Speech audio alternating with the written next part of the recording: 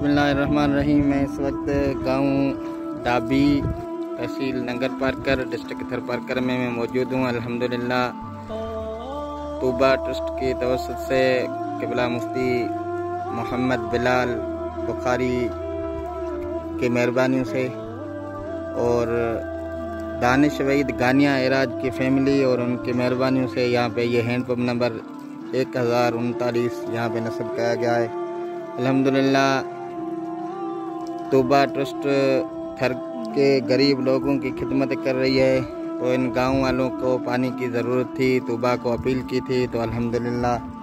दानिश वहीद और गानिया एराज और उनकी फैमिली की मेहरबानी से यहाँ पे ये हैंड पम्प नस्ब किया गया है। आप देख सकते हैं सामने जो, यहाँ पे रहने वाले जो गरीब हैं, उनके ये झूपड़े बने हुए हैं। ये मैं दिखा रहा हूँ। मोहल्ले के अंदर बीस खानदान रहते हैं।